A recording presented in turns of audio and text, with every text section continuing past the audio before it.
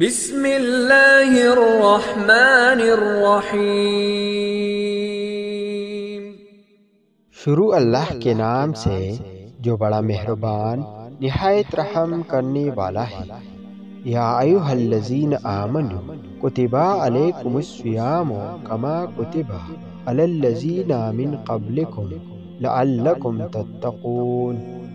ईमान वालो तुम पर रोज़े फ़र्ज़ किए गए। जैसे तुमसे पहले लोगों पर फ़र्ज़ किए गए थे ताकि तुम परहेजगार बन जाओ। कुतिबा अलैकुमुस्सियाम तुम पर रोज़े फ़र्ज़ किए गए। नाजरीन इस आयत में रोज़ों की परजियत का बयान है। शरीयत में रोज़ा ये है कि सुबह सादिक से लेकर गुरूब आफ्ताब तक रोज़े की नीयत से खानी पीने और हम बिस्तरी से बचाया जाए। रोज़ा बहुत कदीम इबादत है।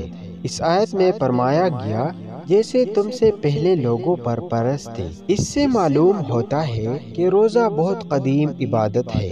नाजरीन, हज़रत अदम सलाम से लेकर तमाम शरीयतों में रोज़े फ़र्ज़ होते चले आए हैं।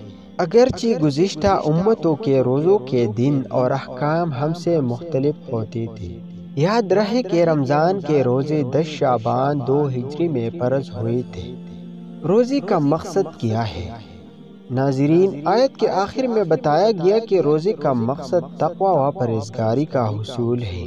रोज़े में चूँकि नफ्स पर सख्ती की जाती है और खाने पीने की हलाल चीज़ों से भी रोक दिया जाता है तो इससे अपनी ख्वाहिशात पर काबू पाने की मशक होती है, जिससे जब्त नफ्स और हराम से बचने पर कुत हासिल होती है। और यही जब्त नफ्स और ख्वाहिशात पर काबू वो बुनियादी चीज़ है जिसके ज़रिए आदमी गुनाहों से रुकता है कुरान पाक में है। वह अम्मा मन खाफ मकाम रबी व नहन नफ्सा अनिल हवा फ़इन्नल जन्नता हियल मअवा और वो जो अपने रब के हुजूर खड़े होने से डरा और नफ्स को ख्वाहिश से रोका। तो बेशक जन्नत ही ठिकाना है।